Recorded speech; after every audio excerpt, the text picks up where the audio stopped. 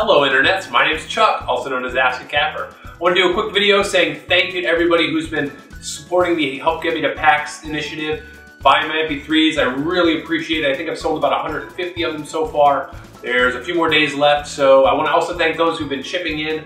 You guys are awesome, and I love your faces.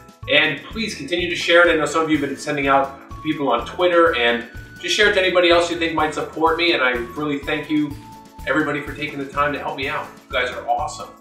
And so that's all I gotta say. Off I go! Up, up, and away!